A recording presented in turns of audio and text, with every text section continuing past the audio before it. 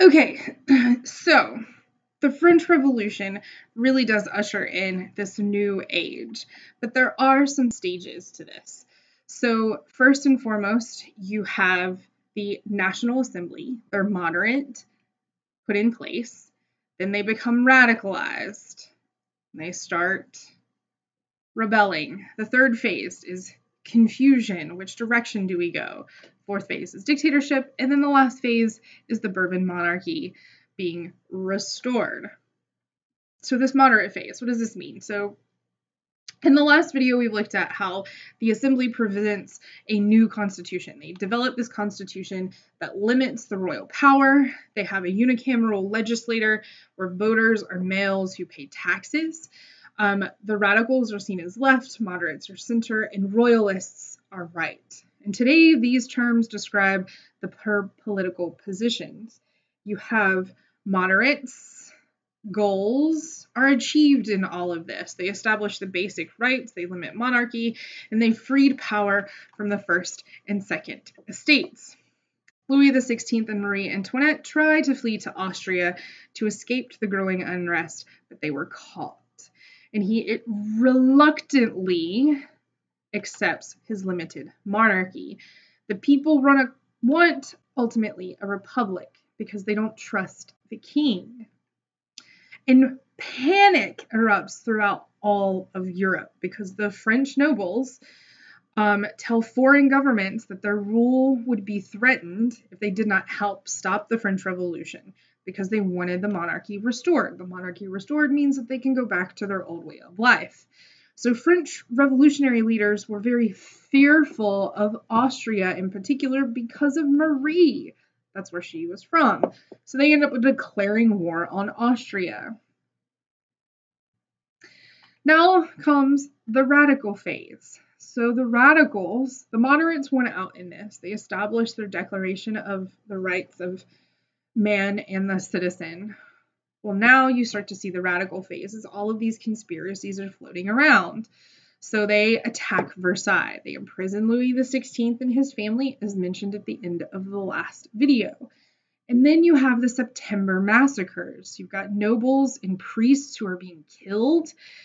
And you ultimately have the radicals taking over the assembly and call for a national convention to create a new constitution that extends the vote to all males.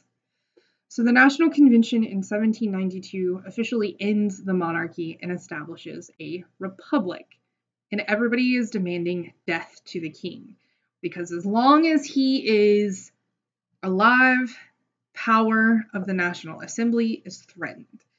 So, January of 1793, Louis XVI is beheaded by guillotine.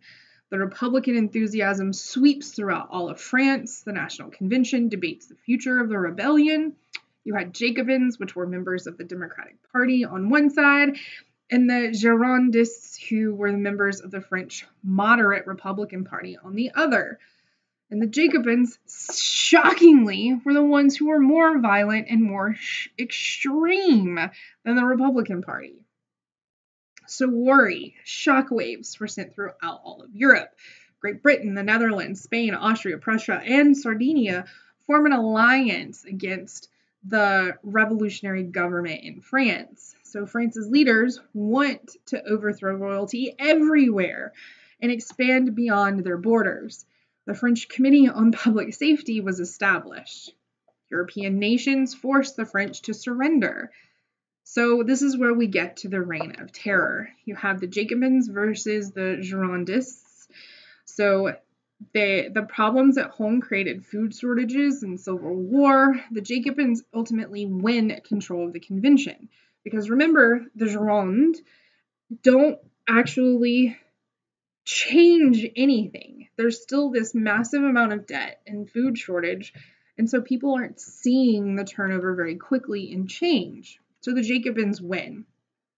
They want to crush all opposition and begin arresting the Gironde delegates.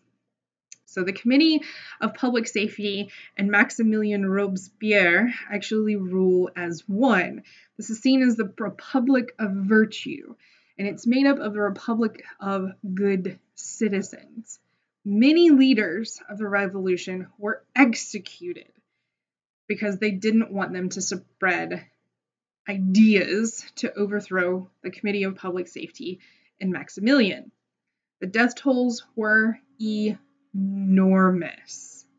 Maximilian took it really too far, and ultimately he was arrested and executed, and the Jacobins lose power and the terror ends.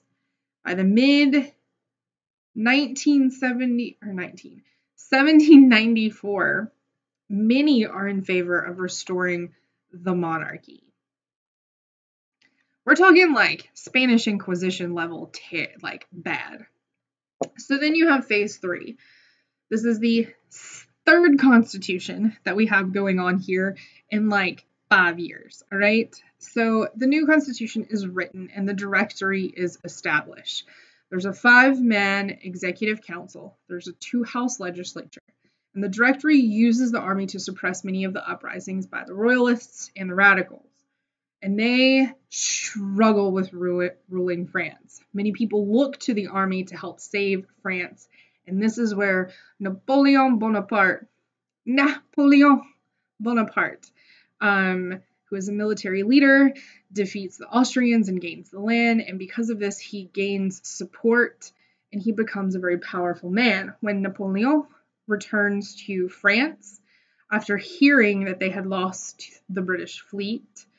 Um, Napoleon joins the coup d'etat against the Directory. And we'll look at the next video what happened.